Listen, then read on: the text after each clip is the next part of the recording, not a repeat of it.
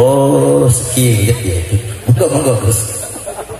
Yun sewu dumateng para masayih wabil Yesus dumateng Bayai Imaduddin. Dalam hal kajian nasab diakui sampai Abuya Syed Agil Sirot menyatakan kajian ilmiah Bayai Imaduddin susah untuk ditangkal dalam arti kajiannya benar dan yang menyatakan salah susah untuk dicari dalilnya. Kami sebagai santri yang jelas dalam kitab-kitab dalam pondok-pondok pesantren yang ala nahdlatul ulama itu selalu diajarkan kitab wajib yang namanya ta'limul muta'alim sementara mayoritas hampir 100% ulama-ulama dulu selalu husnudon kepada Habib adalah duria Rasulullah Shallallahu Alaihi Wasallam. Dalam kitab taklim itu ada bita'dimil ilmi wa ahlihi wa ta'dimil ustadi wa tauqirihi. Sementara kita kalau menyatakan Ba'alawi itu bukan nasab Nabi apakah kita tidak bertentangan dengan husnudon para guru-guru kita? Sementara ala yura annal insana la yakfuru bil maksiati wa inama yakfuru bitarkil hurmati. Dalam arti Yun sewu ketika kita maksiat dalam arti belum masuk kufur. Tetapi ketika kita meninggalkan hormat itu masuk dalam kategori kufur menurut taklimul muta'alim walaupun guru kita tidak pernah mengajarkan dalam arti mewajibkan tapi guru kita takdim sementara santri itu melihat dalam kitab nahu yang namanya kalam ada kuluma afada. Apa pun yang dilakukan tanpa perkataan walaupun gerak-geraknya mata kedip-kedipnya mata itu anatorfi fakot kola marhaban wa ahlan wa salam bin huduri itu termasuk dalam kategori kalam yang menganjurkan kepada santri untuk ta'dim husnudon kepada Ta'alawi. Yun Sewu niku mawon sikap santri harus bagaimana sementara santri Nahdlatul Ulama diajarkan husnudon kepada gurunya. Matar suwun. Kalau misalnya yang mensahihkan harus kitab sezaman berarti yang membatalkan harus kitab sezaman ini nasab alawi tidak bisa dibatalkan oleh kitab sezaman Kitab sezaman yang dimaksud itu zamannya Ahmad bin Isa yang disebut di dalam kitab-kitab nasab punya anaknya tiga yaitu Muhammad Ali dan Husain tidak ada nama Ubed Enggak ada kitab sezaman yang mengatakan tidak ada yang bernama Ubed kenapa? karena memang Ubed ini tidak pernah disebutkan. Orangnya itu tidak pernah muncul namanya bagaimana tidak ada namanya kemudian dibatalkan. Kalau misalnya ngakunya pada saat itu, pada saat Ahmad bin Isa masih hidup misalnya, orang ngaku anaknya, ya bisa dibatalkan. Ini nggak ada pengakuan waktu itu. Jadi abad keempat itu tidak ada pengakuan Ubed sebagai anaknya Ahmad bin Isa.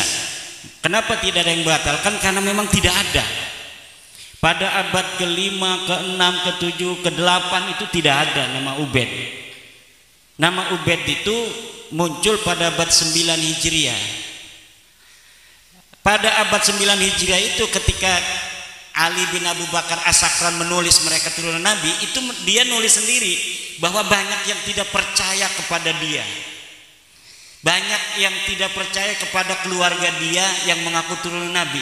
Itu ada di dalam kitab Al-Burqatul Musiko sendiri. Apa yang dikatakan oleh Ali Asakron? bahwa itu orang-orang hasud dan iri dengki tidak percaya kepada mereka sebagai turun nabi. Itu jadi ketika mereka mengaku itu dia mengakui bahwa banyak orang yang tidak mengakui pengakuan dia. Itu kitab sezamannya itu. Kitab sezamannya itu ya kitab Al-Burqatul Musiqah sendiri.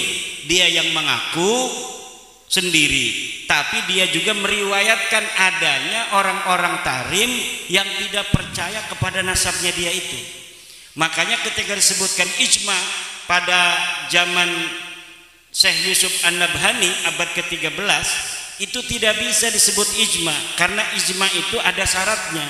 Syarat ijma itu sebelumnya tidak boleh ada perbedaan pendapat.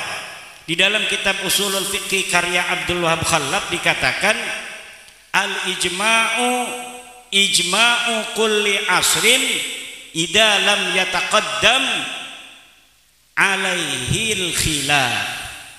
Apabila ada khilaf maka tidak bisa itu disebut ijma' al ijma'u ijma'un sahihun idza lam yataqaddam alaihi khilaf. Ijma itu bisa dikatakan sahih kalau sebelumnya tidak ada perbedaan pendapat. Sedangkan nasab Ba'lawi ini di abad 9 aja ketika mereka mengaku banyak ulama-ulama di Tarim nggak mengakui dari mana saya tahunya? Dari kitabnya Ba'lawi sendiri yang meriwayatkan adanya orang-orang hasud yang tidak percaya kepada nasab dia. Ya orang yang tidak percaya disebut aja orang hasut kan padahal mah dia yang memang tahu bahwa mereka ini bukan turunan nabi gitu. Terus apa ya tes DNA harus J1 ini bukan kata saya loh tes DNA ini melalui penelitian para pakar biologi. Saya itu hanya mengutip dari paper-paper para ahli biologi bahwa sudah diadakan tes DNA seluruh dunia.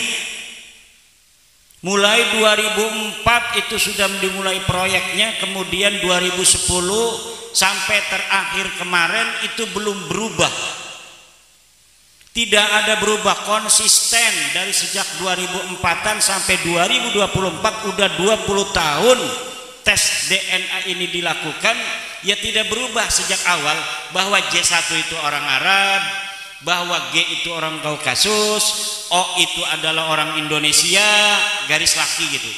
Karena kan keturunan Nabi itu yang dimaksud garis laki kalau garis laki hari ini Nabi Muhammadnya orang Arab J1 maka yang sekarang ini walaupun adanya di Lampung yang mengaku keturunan Nabi garis laki-laki harus sama J1 nya itu sudah tidak bisa lagi untuk mengelak dari sisi DNA itu. Masa depan itu orang yang mengaku turun Nabi nggak usah dibahas-bahas kitabnya mana nggak usah dibahas sejarahnya bagaimana.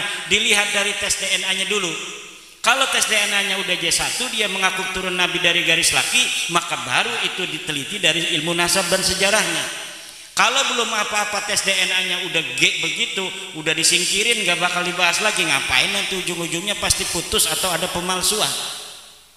Itu. Nah, tentang nasab apa Wali Songo kenapa berpindah-pindah? Yang minda-minda itu bukan kita, Baklawi yang minda-minda nasab Wali Songo dalam kitab mereka. Tahun 1960 Salim bin Jindan menulis kitab bahwa tentang Syekh Khalil Bangkalan. Saya melihat sendiri manuskripnya dari cucu Syekh Khalil Bangkalan.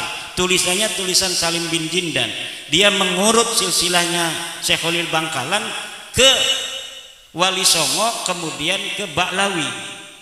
Sementara manuskrip-manuskrip Nusantara yang telah diteliti oleh Profesor Dr. Hussein Jayadiningrat tahun 1919 dari berbagai manuskrip yang ada tidak ada itu wali songo keturunan Baklawi silakan bukunya Profesor Dr. Husain Jayadiningrat masih ada di Tokopedia namanya itu kritik sejarah Banten kritik sejarah Banten karya Profesor Dr. Husain Jayadiningrat itu dia meneliti berbagai man macam manuskrip yang ada dari Wali Songo pada tahun 1919 kemudian dijadikan desertasi di Den Haag Belanda kemudian kita bisa baca terjemahnya hari ini dari bahasa Belanda tidak ada satupun dari 11 riwayat keturunan jalur Wali Songo yang ada dicatat oleh Profesor Dr. Hussein Jayadiningrat dari manuskrip manis tua